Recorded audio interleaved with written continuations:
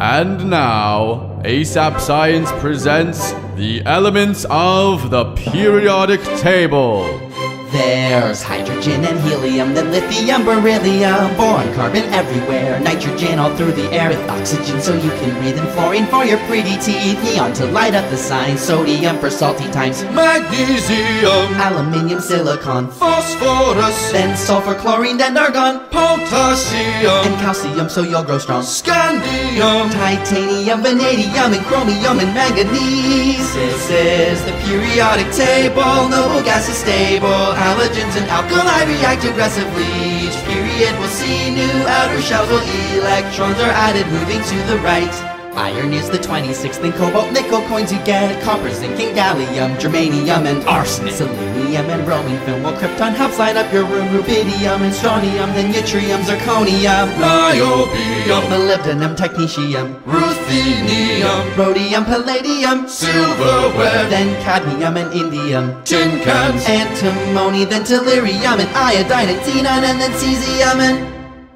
Barium is 56, and this is where the table splits, where lanthanides have just begun. Lanthanum, cerium, and praseodymium.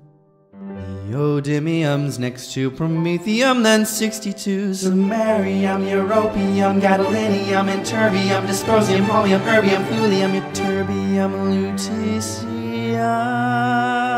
Hafnium, tantalum, tungsten, then we're on to rhenium, osmium, and iridium, platinum, gold to make you rich till you grow old, mercury to tell you when it's really cold, thallium, and lead the bismuth for your tummy, polonium, Astatine would not be yummy. Radon. Francium will last a little time. radium, Then actinides at 89.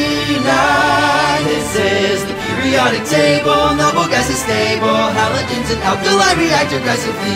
Each period will see new outer shells while electrons are to the right. Actinium, thorium, protactinium, uranium, neptunium, plutonium, americium, curium, berkelium, californium, einsteinium, fermium, mendelevium, nobelium, lawrencium, rutherfordium, dubnium, seaborgium, bohrium, hassium, meitnerium, darmstadtium, roentgenium, copernicium, ununtrium, flerovium, ununpentium, livermorium,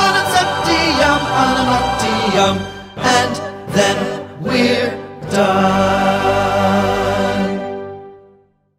Like the song? Be sure to check it out on iTunes and Bandcamp. Links are in the description. And if you think you have what it takes to memorize the whole thing, leave a video response and we'll share our favorites on Facebook and Twitter. Oh, and subscribe for more awesome weekly science videos.